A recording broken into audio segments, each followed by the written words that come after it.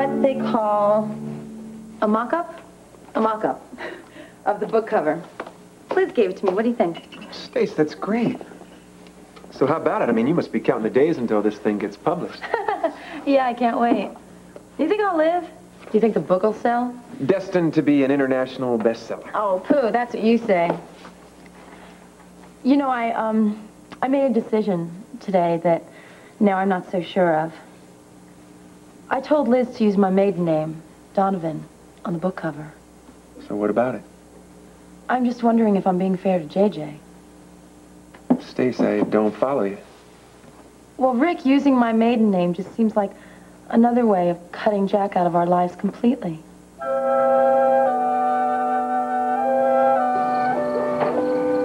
Hey, Jim. I've uh, been so busy down at the shelter, I haven't seen you in a long time. That's exactly why I came over.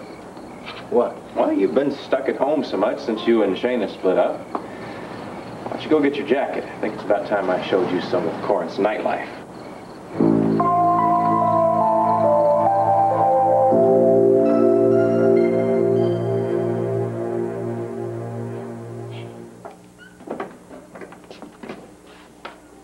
Good Evening, Soames. Good evening, sir.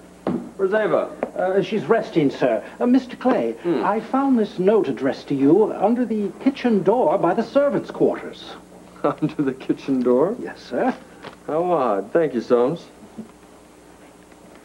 You didn't get back to me, Clay. That wasn't very smart. We never had our meeting. Now it's your turn to figure out what I'm up to. I can promise you one thing. You're not gonna like it.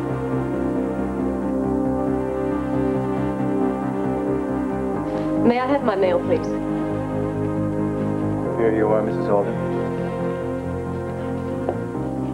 Excuse me.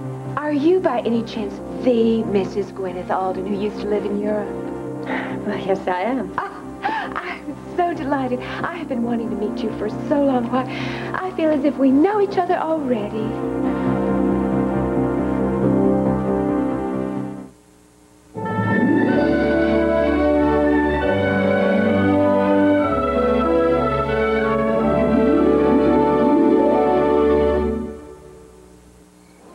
Jack, I can't. Look, I'm beat. I, I've had a really tough day down at the shelter. Yeah, and you probably spent half of it brooding about what Shane is doing in Reno right now. All right, that's true. I'm having a little trouble getting her off of my mind. Jim, what is the point of fighting so hard for something that you can't win? Shane is not going to change your mind about this. I'm not so sure that's true, Jack. You- Look, I could be sitting around moping about Stace, or Stacy and Rick, to be more accurate, but I'm not. It's, it'd be a waste of my time. So I find other things in life to make me happy. Well, I don't think going out every night's the answer either, Jack. It is if you have the right kind of fun. Look, Stacy is not going to take me back. I'd be a fool to think she would. Hope isn't foolish. Jim, she's never going to forgive my affair with Lily, so what do I have to hope for? So I've made other friends that are very encouraging to me. Well, that's good, Jack, but it's no reason to turn your back on your family. Why not? They turn their back on me. That's all I can do to go over the house and pick up JJ. Rick's always there, every time I come over. Apparently he's a overnight guest now, too. Oh, come on, Jack. I find that hard to believe. Well, you better believe it. I saw it myself. I walked in on this cozy little breakfast scene this morning. Well, I'm sure there's some explanation for that. Jim, his hair was wet. He was half dressed. He'd obviously just come out of the shower. Neither one of them even, even bothered to deny that he'd spent the night. They tried to give me some cock and bull story about his car breaking down, but I know what I saw. Wait, maybe they were telling you the truth. Jim, don't be so naive. I, I'm glad I found out. It made me stop feeling so sorry for myself. Now, look, I am sorry that this happened. It's all right, it's Jack, right. Look, I, I got some friends that uh, hang out at this after-hours club downtown. Come on, what do you say? No, that, that crowd, they're not for me. Oh, Jim, we can handle it. Come on, be a good time. Last chance. No, no. Uh, I've got to get up early. I've got a very important meeting down at City Hall about the budget for the shelters. Oh, that's too bad. Because I'm feeling lucky tonight. These guys uh, sometimes get up a pretty high stakes game of cards. Tonight I feel like playing to win for a change. I'll see you later.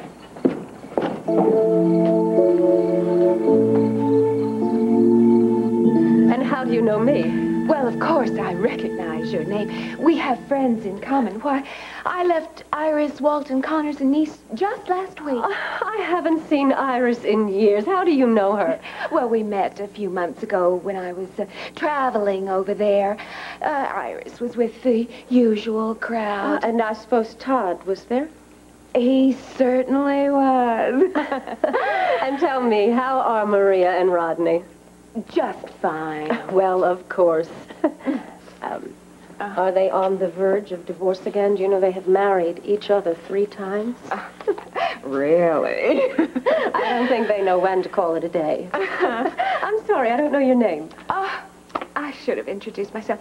Egypt Jones. Egypt? That's a very unusual name. Uh, My mother was quite a traveler. Well, you're staying here in Corinth Towers, um, Egypt? oh, I just checked out. I'm looking for something a, a little more permanent here in Corinth since I plan on staying a few months. I see. Well, I know of some perfectly lovely condominiums over on the east side of Corinth. In fact, why don't you use Alden Enterprises Real Estate Placement Division? They're actually quite good. How nice of you, but I couldn't impose. Oh, nonsense now. Any friend of Iris, I'd be more than happy to introduce you to the right people. Well, thank you very much. You know, you are just as nice as Iris were. Oh, by the way, Iris said you're working these days with your ex. Is that, uh, difficult? Sometimes he does know how to drive me crazy. Ah, so does mine.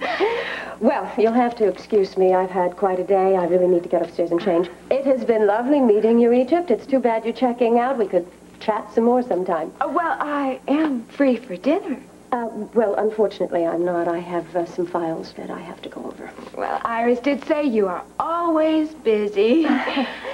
Uh, well, actually, I have some free time in my schedule tomorrow. Why don't we meet for um, lunch here, here in the coffee shop, about uh, 12 noon, say? I'd love to. Until then?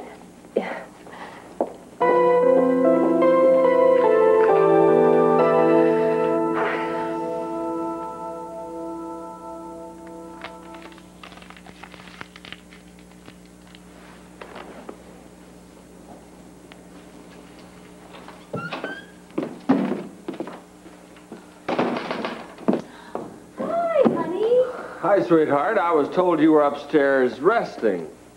Well, yes, then I got a second wind. Yeah. Look, I'm really sorry that I missed dinner with you. I, the meeting at the bank went on forever. Oh, it's okay. I'm glad you called. I do hate eating alone. Mm, Well, I'm not going to make it a habit. I'll make it up to you. I want to show you something. I couldn't resist. Sweetheart, I can see why. We're going to keep this pregnancy a secret a little longer, aren't we? Yes, yes, of course. I'm trying, but it's so hard. Well, sweetheart, it's only been a couple of days. And besides, the fact that it's just between you and I makes it that much more special, doesn't it? Yeah. And I love the idea of announcing the latest Alden heir at a fabulous party for the whole family. and we will, sweetheart. We will soon. This baby is going to draw us closer and closer together. And maybe it might even draw the Alden family together again. What do you think? well, that's what babies do. Mm, yes. Now, why don't you go on upstairs? And I'll be up in a little bit. I've got to make a few business phone calls. At this hour? I just have to uh, touch base with a couple of the board members and, you know, let them in on what happened at the meeting at the bank. That's all. Shouldn't take more than a few minutes. Okay, we've got five. Then I'm coming downstairs and I'm dragging you up. All right, you've got a deal.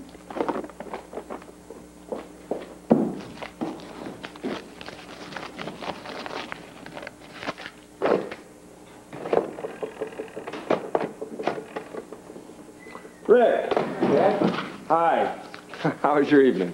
That's all right. I stopped over at Stacy's house after I left the casino. Oh, well, how is she? Oh, she's great now that her book's being published. No, I mean personally, how is she? I remember you telling me that your feelings for her were very strong. Uh, she enjoys being with me. I certainly enjoy being with her. Stacy and I are good for each other, Dad. In fact, I invited her and JJ out for a picnic at Belden's Pond tomorrow. Rick, are things really that serious between you and Stacy?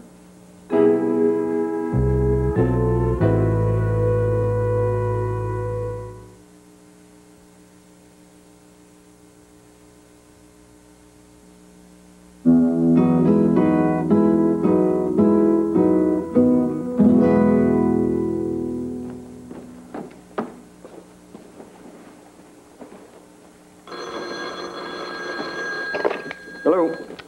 Ooh, only one ringy dingy. I'm impressed. I couldn't meet you. I was stuck in a meeting. Give me a break with the excuses, huh? We meet today. Fine. Fine. Be in the park at 3 o'clock. There's a bench just west of the Alden Memorial. Ooh, meeting me in public. You're so brave. It's a remote area of the park. Not a lot of foot traffic. Be there at exactly 3 o'clock. You better not stand me up again. I'll be there.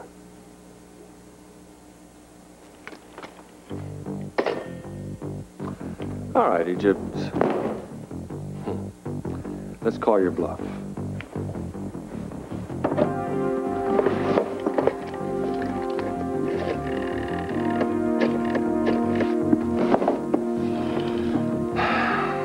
Police department? I'd like to report a crime.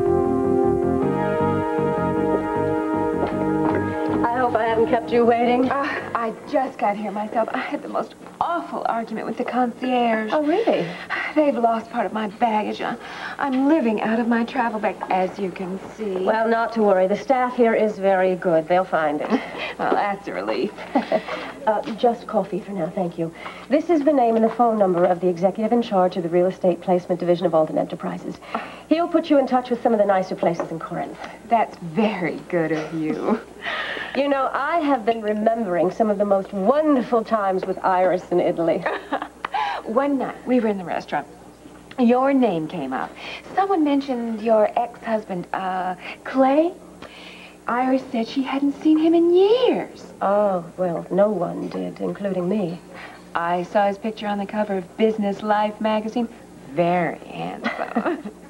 Yes, but the man he was then and the man he is now are like two totally different people. really? Clayton was a prisoner of war in Southeast Asia.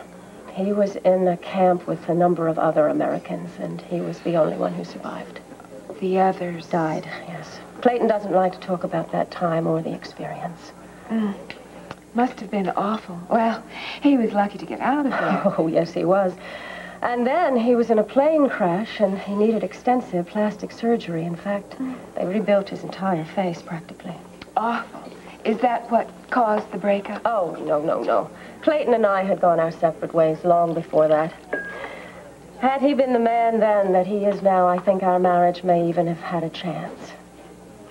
You know, when he got out of that camp and came home, he's, he's been like a totally different person. He's even become the kind of businessman his family had always hoped he would be. Amazing.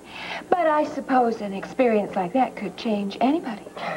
Well, tell me about your ex.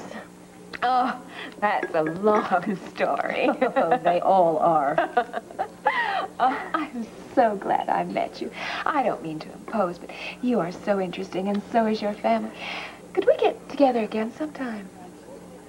Oh, I don't see why not, I, if I have the time. Oh, good. I was secretly hoping we'd become best friends. Hmm, Mmm, this was a great idea. Nothing to do but enjoy this beautiful day. Right?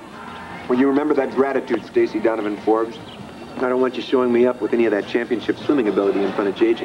Don't worry about it. I'll give you a head start. Hi, Stacy. Rita Corey, hi. How are you? Okay.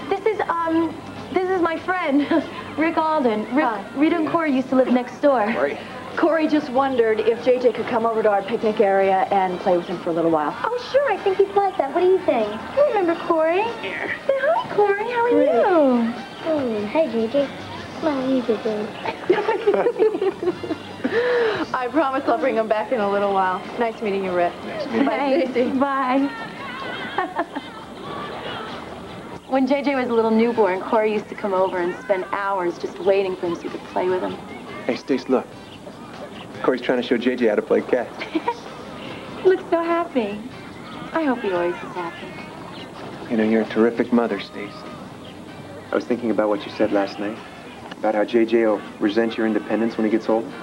That might happen. Oh, not a chance. Come on, he'll be proud of it. He'll have a whole career, a whole life. That independence will end up being a gift for him. I guess, when you put it like that. You know, You've really filled an emptiness in JJ's life. And he thinks you're great. I think he's pretty great, too. How can I ever thank you, Rick?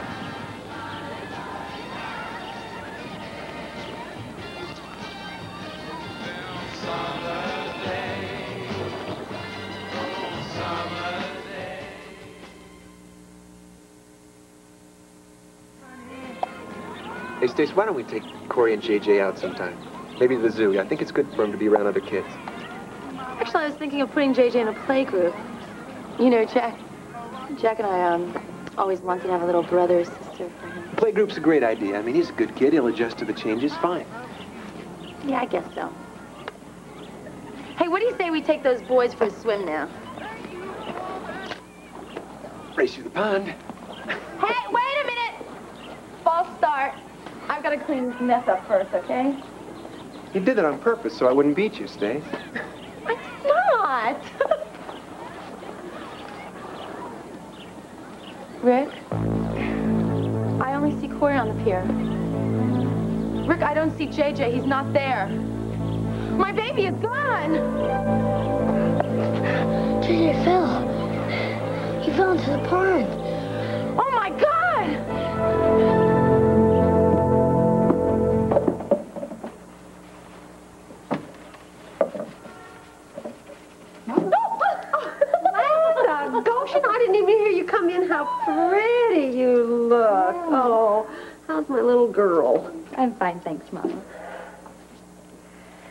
Boy, the house sure is quiet. Yeah, well, Jim and Lily are down at the shelter all the time. I feel like I'm living alone.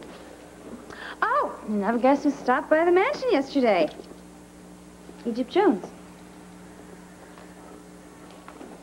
Mama, what happened? I mean, why did she leave? I thought she liked it here, and it was always interesting running into her. Well, honey, it was always just supposed to be temporary. I, I know I used to give you a hard time about borders in and all, but those two were okay. Yeah, well, I'm just as glad to have the house back to normal.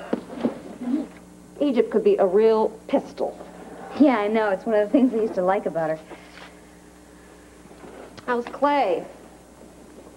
Fine, I think. What does that mean, you think? Well, I, I don't know. He's, he's always got a lot on his mind, and he's always worrying about the family business and all. I mean, whatever it is, he's not telling me. Well, are you sure it's business? Yeah, of course. Our life is perfect now, Mama. He's just, you know, a little edgy. Well, Hey, but Clay is not usually edgy about business. I mean, he just loves all that hurly-burly, doesn't he? Mama, why are you asking me all these questions? I told you everything is fine. Our life is absolutely perfect now. In fact, I am so happy. I think I feel the way that you did years ago. What's the word? Fulfilled. That's it. Yes, I, Ava Rescott Alden, am fulfilled. Honey, what on earth are you talking about? I'm talking about a baby, Mama. A baby. Clay and I are going to have a baby.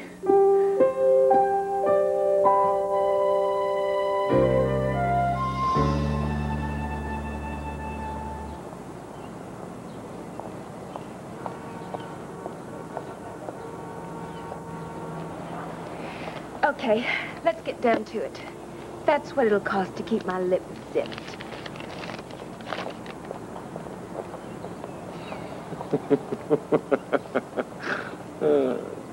Two thousand dollars a week, huh? Company car, credit card to Burnell's.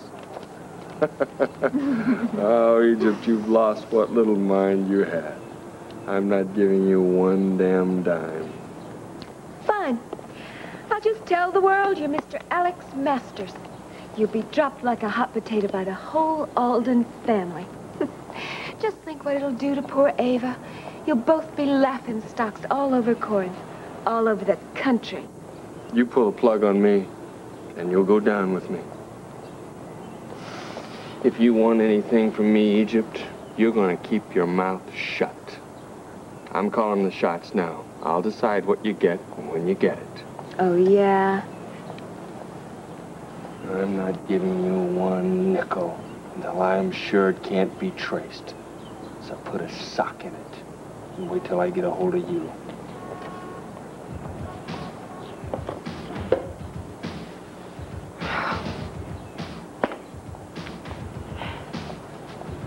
You Egypt Jones? I don't know. Who wants to know? Officer Glenn Stevens. Corinth Police. I've got a warrant for your arrest, issued by the federal marshal, Topeka, Kansas. Oh, well, uh, You'll have to come with me, miss. but, uh, you can't do this. I'm no crook. I'm, I mean, there must be some kind of mistake here. See, I talked to a lawyer earlier.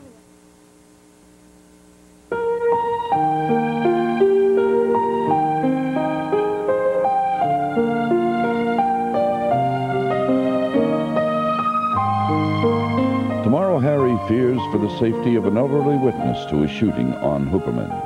Then, following the Slap Maxwell story, an out-of-town visitor turns life upside down for Spencer and Hawk on Spencer for Hire. Tomorrow, all starting at 9, 8 Central and Mountain. Erica and Natalie batted out in the courtroom. Stay tuned for All My Children next.